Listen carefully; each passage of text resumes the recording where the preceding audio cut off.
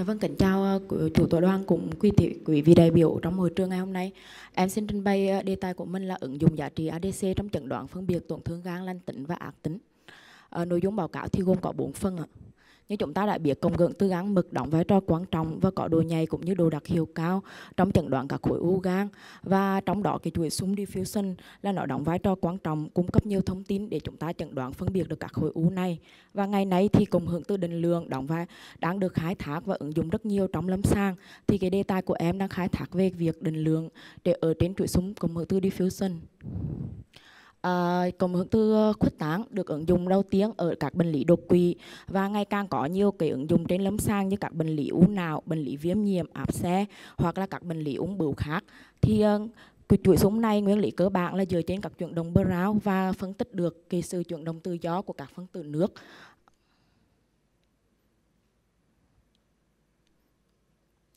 À, chuỗi súng này có thể cung cấp thông tin định lượng về số lượng tế bào, đồ nhớt và không gian ngoài bào. Thì các uh, tổn thương mà chứa các khối u ác tính thì thường có mật độ tế bào cao, khoảng không gian ngoài bào hẹp và ngoằn ngoèo dẫn đến là hạn chế sự chuyển động của phân cực tự phân tử nước nên là giá trị ADC nó sẽ thấp hơn và chúng ta có thể định lượng được giá trị ADC này. À, một cái nghiên cứu hệ thống trên nhiều cái uh, nghiên cứu uh, trước đây đã ghi nhận rằng ADC là có giá trị phân biệt các tổn thương ác tính và lành tính với những cái ngưỡng uh, chẩn đoán ADC khác nhau với độ nhạy và độ đặc hiệu khá cao. Uh, tuy nhiên cái chuỗi súng uh, uh, cộng hưởng từ khuếch tán có nhiều yếu tố bị uh, gây nhiều và ảnh hưởng bởi các uh, yếu tố bên ngoài ví dụ như là loài máy chụp MRI, uh, protocol chụp, phần mềm phân tích hay là mức độ tưới máu cũng như tính thấm của màng tế bào. Từ đó chúng ta cần phải chuẩn hóa giá trị ADC theo một hệ số tham chiếu cố định và từ những nghiên cứu trước cũng như nghiên cứu này thì chúng tôi đề xuất là lấy tỷ lệ ADC giữa tổn thương trên mô nhu mô gan và tổn thương trên nhu mô lách để mà có thể loại bỏ được các yếu tố nhiều và đồng bộ hóa cái giá trị ADC nên mục tiêu nghiên cứu trong cái đề tài của chúng tôi đó là đánh giá hiệu quả giá trị ADC và tỷ lệ giá trị ADC trong phân biệt tổn thương gan lành tính và ác tính được thực hiện tại Bệnh viện Trường Đại học Y Dược Huế từ tháng 1 đến tháng 12 năm 2023 À, tiêu chuẩn chọn bệnh của chúng tôi là những, những bệnh nhân lớn trên 18 tuổi có ít nhất một tổn thương gan và dựa vào hình ảnh học giải phẫu bệnh xét nghiệm sinh hóa có thể phân thành các tổn thương lành tính và ác tính. Đối với tổn thương lành tính sẽ phân thành các nhóm hemangiom, SNH, adenom hoặc là viêm, trong khi tổn thương ác tính là hạt cccc hoặc là di căn.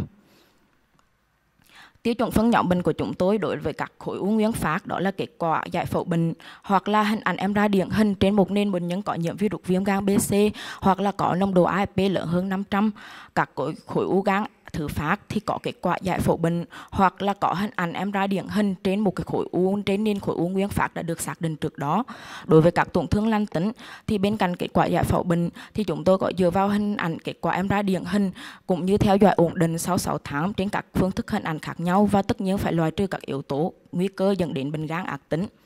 Tiêu chuẩn loại trừ là các bệnh nhân đã được điều trị trước khi chụp MRI, cắt bỏ gan hoặc lách, không đủ điều kiện để tham gia chụp hoặc không muốn tham gia nghiên cứu hoặc là những cái tổn thương có năng gan. Và đây là bảng thông số. Chúng tôi đã sử dụng chuỗi súng diffusion tại bệnh viện của chúng tôi với những cái thông số như trên bảng.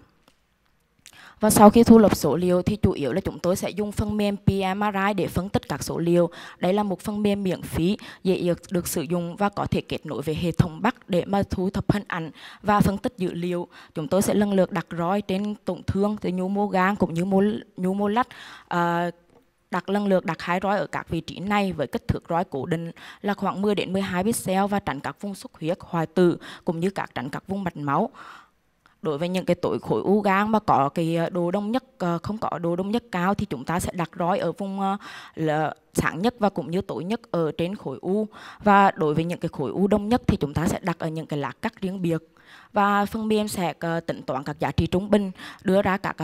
con số và cuối cùng sẽ thu được cái bảng kết quả cuối cùng là định lượng giá trị ADC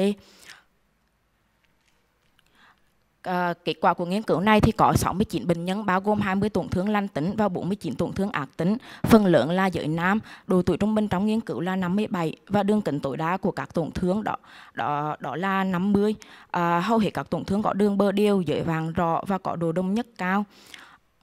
về mặt tín hiệu thì các tổn thương hầu hết là giảm tín hiệu trên T1, tăng tín hiệu trên T2 và tăng tín hiệu trên chuỗi súng diffusion. Thì việc tăng tín hiệu trên chuỗi súng diffusion có thể là bản thân các tổn thương này có sự hạn chế khuếch tán hoặc là có hiện tượng T2 cytokine.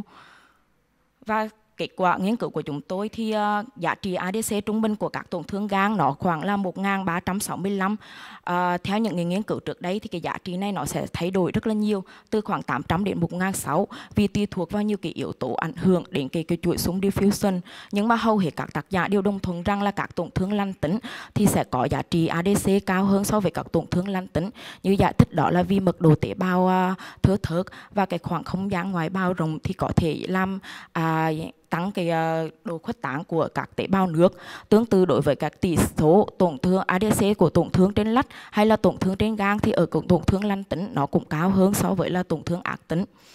và cái những cái con số này nó phù hợp với một số cái tác giả đã ghi nhận trước đây à, và về mặt lý thuyết thì uh,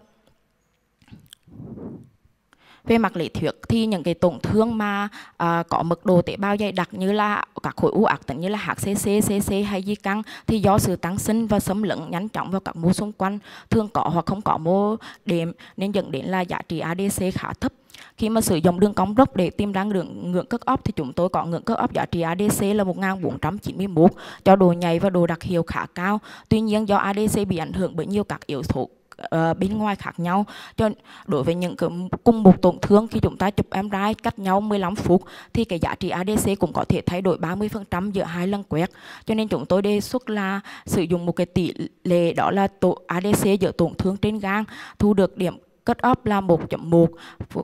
khá ổn định so với các à, nghiên cứu trước đây để mà loại bỏ được các yếu tố nhiều từ những cái yếu tố bên ngoài. À, bên cạnh đó thì khi mà so sánh cái giá trị tổn thương trên lách thì chúng tôi cũng thu được ngưỡng uh, ờ, cất óp là 1.6 với độ nhạy và độ đặc hiệu khá cao. Thì lách cũng được xem như là một cái cơ quan tham chiếu lý tưởng bởi vì là ADC của lách duy, duy trì tương đối khá ổn định khi mà bệnh nhân có cái bệnh gan nền. Và cái phương pháp mà tính tỷ lệ ADC này nó dễ dàng thực hiện trên lâm sàng không cần một phần mềm hay là một cái công thức mới mà chúng ta có thể ứng dụng và có thể áp dụng ngay được ngay. Và uh, chúng tôi tin rằng cái việc sử dụng cái giá trị tỷ lệ này về mặt lý thuyết là sẽ vô hiệu hóa. Cái tính không đồng nhất tiềm ẩn từ những yếu tố gây nhiều và phản ánh cái sự uh, khác biệt thực sự giữa tổn thương gan và lách ban đầu đây là một cái hình ảnh minh họa giữa cái tổn thương adenom được xác định bằng giải phẫu bệnh thì chúng ta có thể thấy rằng nó tăng tín hiệu trên chuỗi sung diffusion và có tín hiệu trung gian và giảm trên bản đồ ADC. Khi mà định lượng cái giá trị ADC này ra thì chúng ta thu được là 1239. À, trong khi đó là một cái hình ảnh của cái khối UHCC cho một cái hình ảnh khá tương tự trên chuỗi sung diffusion cũng như bản đồ ADC đó là tăng trên diffusion và cũng giảm trên ADC thì cái hình định lượng này á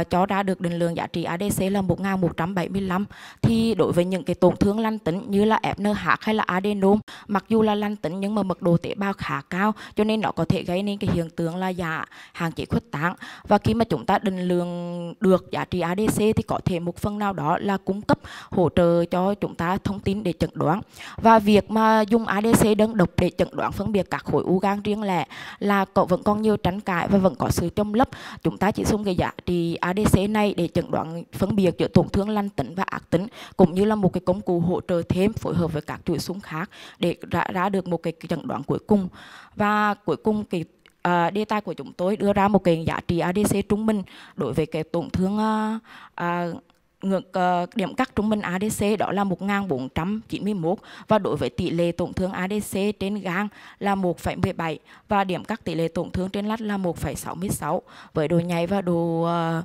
đặc hiệu khá cao và có thể là cung cấp thêm phần nào thông tin để cho uh, trong thực hành lâm sàng chúng ta có thể dễ dàng phân biệt hơn các khối u này. Và phần báo cáo của em đến đây là hết. Xin cảm ơn uh, quý vị đại biểu ạ.